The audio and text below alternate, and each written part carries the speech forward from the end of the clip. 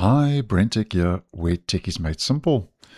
Microsoft is rolling out a nice change for the Microsoft Store online.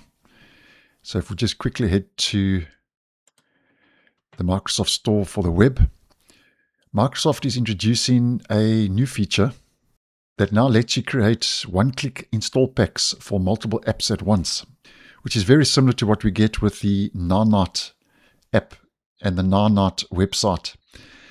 And the process, as you may well know, makes downloading and installing multiple apps a lot easier. Now, here you'll see if you visit the Microsoft Store online for desktop on your browser, you'll see a new multi-app install toggle here to the top right. And if we click on that,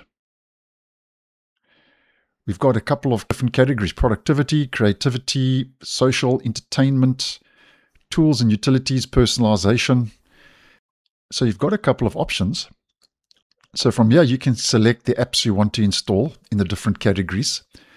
So as an example, for entertainment, we can go Spotify, iTunes, Netflix. And then here you'll see to the right-hand side, you then click on Install Selected. And then what will happen then is it'll download a .exe file to your local drive that you can then run on your PC to install all the apps at once, which I think is very handy.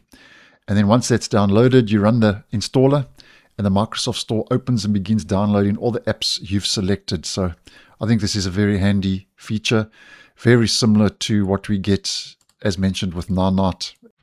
At this stage, though, there is a little bit of a catch because it seems that the multi-app install packages are only supported by the apps that appear on this page. So you only, at this stage, you're limited to what appears in these different categories on this page in the Microsoft Store online. And at this stage, and currently there are approximately 48 of the most popular apps according to Microsoft that are fit, that are placed into these different categories. So nonetheless, just making you aware of that. I think that's a very handy feature, and I hope that does come to the actual Microsoft Store for Windows 10 and Windows 11. So thanks for watching, and I'll see you in the next one.